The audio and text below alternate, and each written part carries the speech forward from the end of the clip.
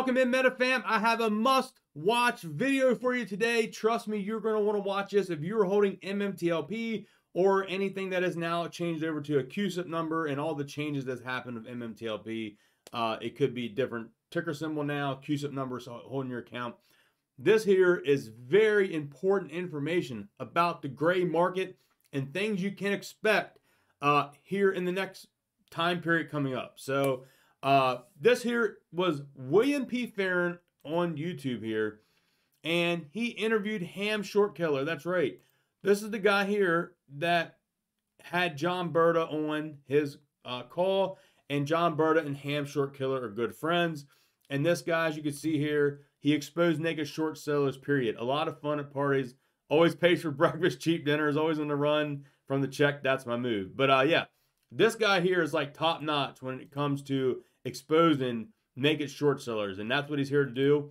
And he was on William P. Farron's uh, YouTube channel. And thank you here to MMAT Believer on Twitter for capturing this part of the live stream. And it's a three part video. We're going to watch it here in today's video. So uh, go ahead and smash thumbs up, drop a comment down below. Here we go. Let's get to it. Did you hear that?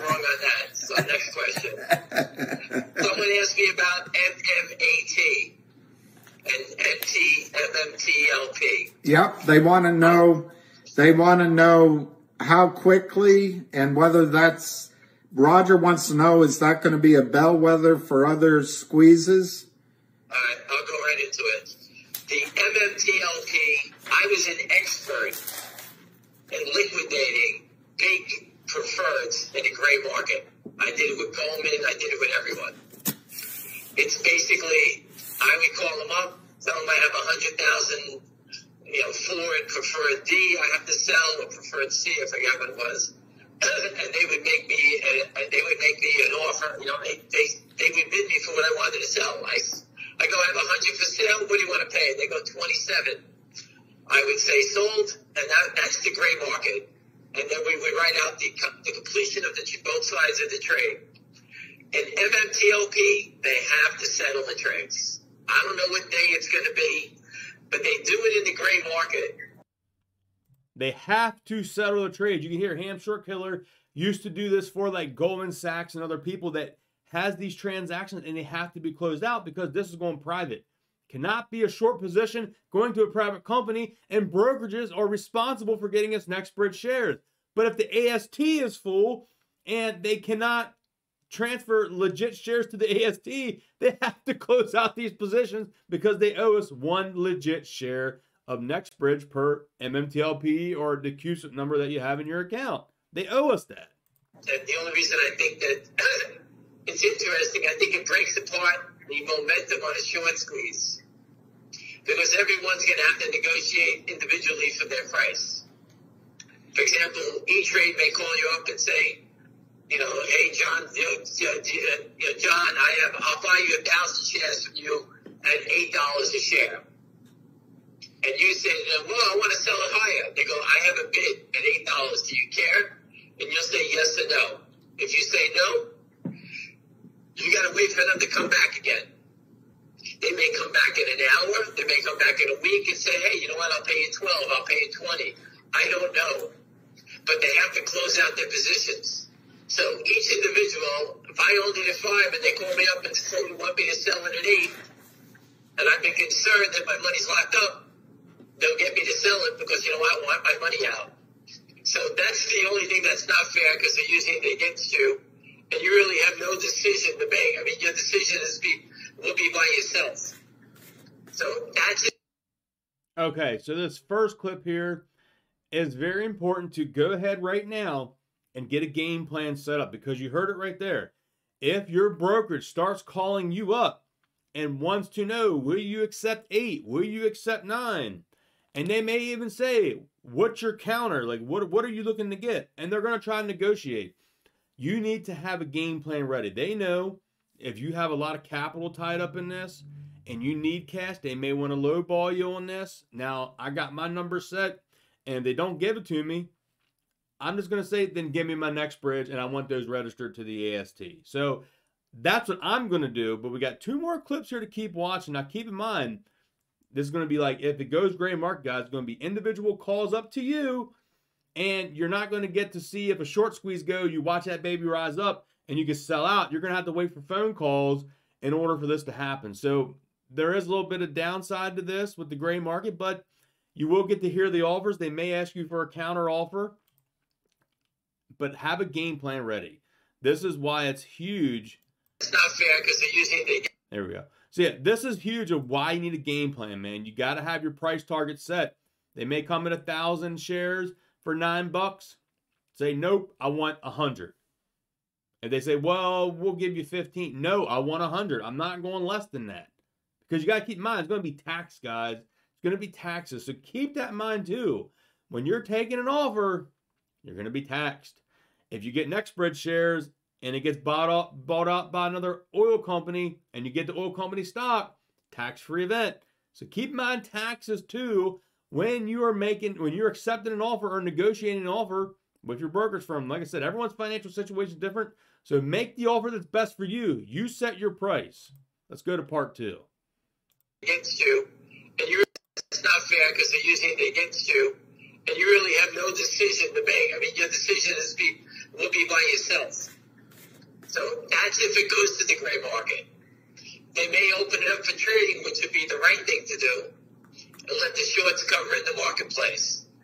Just remember one thing: the longs have done nothing wrong the shorts have done everything wrong. This is going to help every stock that's being naked shorted because. And keep in mind, he made a very good point there. We did nothing wrong. The long, we're longs, guys. We bought MMTLP. They owe us a share of NextBridge. The brokers owe you that, and they owe you to get that registered to the AST. They owe you that. We did nothing wrong. If the brokers sold us synthetics, they have to make it right. Keep that in mind too. We did nothing wrong. They did everything wrong. So I want them to give me my price. The shorts is locked into the stock just like the longs. And the SEC and FINRA have no choice but to follow the sell tickets back to see who's been doing it. So if you're the naked short in that in that stock, and you have 50 other stocks that you're naked shorting, you know the SEC is coming into your headquarters, and the crooks don't want anybody to see what else they're doing. So that's a great thing that they're going to find out, and it's going to lead back to the crooks. They can stumble and mumble all they want. Oh, we thought we borrowed it, we did this, we did that. But the SEC is not stupid. They know they were naked short selling. And if they if they say, let me see your records in these other names that we see you in now, that's going to unwind this whole thing, and it's fantastic for all the stocks. So Tom, that, yeah. Go ahead. Tom McCartney's asking, what if you turn down your the first price offer? What happens then? You got to hope they come back and say if they offered you nine, hopefully they come back and offer you twelve. Right. I do believe they're going to have to bid it up, but each person has a different opinion about what they want to get out at. And I think they're going to hold that. that that's going to be the hard part because you're playing, you're just in the dark on the whole subject. You have no, you have no idea what they're doing. Do they have to buy them all back? They have to, they have to close out the position. The company's going away. Pretty huge comments right there from Ham Short Killer. Um, they have to close out everything. They have to. So the weak ones will sell first. The people that has their price set, that's going to be the tough ones to get because if AST is full, I mean, they have to pay the price that is asked. I mean, you know, we did nothing wrong. That's all I can say. We did nothing wrong. They have to pay. They may come to you and say, "We'll offer you, we'll buy a thousand shares from you at nine. and you say no. They come back and say, "We'll buy a thousand shares from you at six. Yeah. and create the illusion that it's going down. You don't know. It's completely it's a black box if they do it. I don't know if they're going to do it, but to me, they should open it up for trade. All right, there's a key point he made too. Let's say the first call you get, they call and say, We'll buy a thousand shares at nine dollars. And you say, No, I don't want that. They hang up, they call you back an hour later. Well, now we can only offer you six dollars for a thousand share. And they're creating the illusion that the price is going down. But it doesn't matter because at the end of the day, they still have to provide you your legit shares in NextBridge. And there's no way I didn't sell at 12. They can come back and offer me all they want. I am not selling anywhere near that price. Isn't happening. I want what I originally wanted. I want my NextBridge shares. And I believe NextBridge to be valued somewhere between the honestly, I believe it's the 50 to $85. I believe it's somewhere in there. 50 to $85. And that's on a tax-free event. So if I'm going to accept an offer, I'm going to have capital gains tax on that. So I got to take that in mind. I don't want to go no less than like triple digits. I, I don't want to go no less than triple digits. And that's me being realistic. Uh, I always said my goal is I wanted to pay my house off, pay my cars off, you know, get that kind of debt out of there.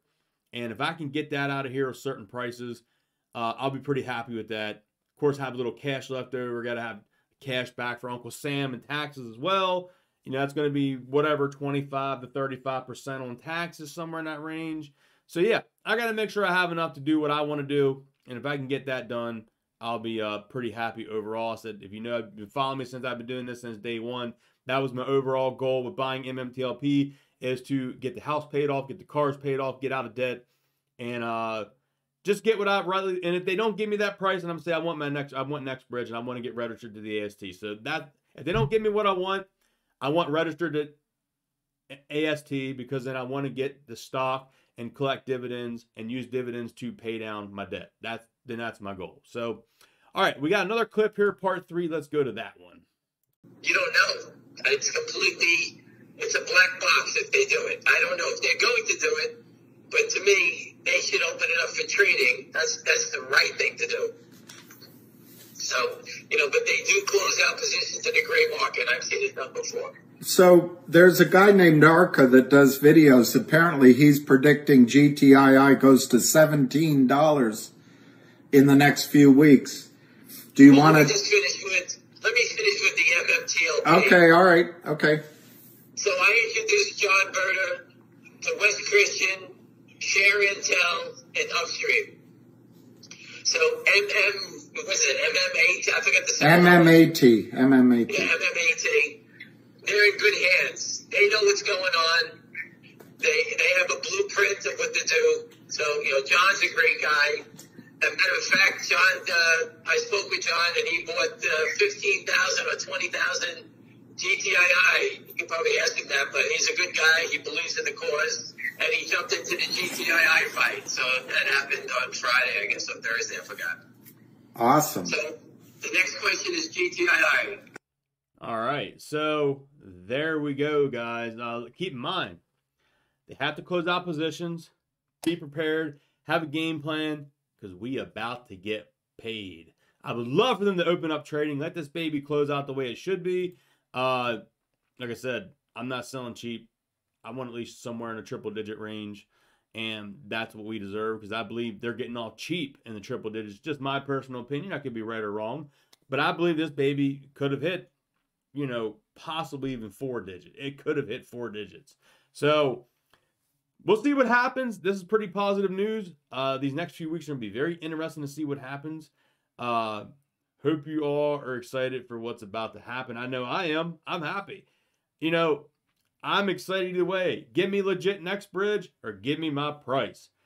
Hope y'all enjoyed today's video. If you did, smash thumbs up, drop a comment down below, consider subscribing to the channel, and I'll catch you on next video, guys.